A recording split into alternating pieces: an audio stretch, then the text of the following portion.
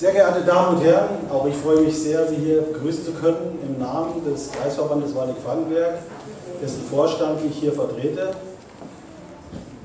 Und ich darf Ihnen vorab eine Warnung geben. Seien Sie sehr, sehr vorsichtig heute Abend bei dieser Veranstaltung, denn es, wird auch für Sie sehr, sehr gefährlich werden. Denn Sie werden heute eine dermaßen Überdosis an Wahrheit bekommen, die Sie in 100 Jahren GEZ-Fernsehen oder HNA oder irgendwelchen anderen Bereichen niemals erleben werden. Seien Sie sehr, sehr vorsichtig, es wird eine heftige Dosis Wahrheit geben. Und auf diese heftige Dosis,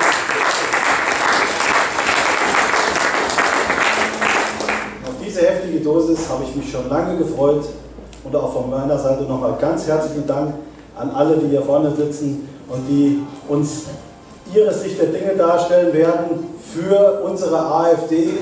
Und ich bitte Sie hier nochmal, denken Sie am 24.09. drei und viermal genau nach, was Sie da wählen werden. Am liebsten wäre mir, wenn Sie Ihr Kreuz bei der AfD machen würden. Vielen Dank.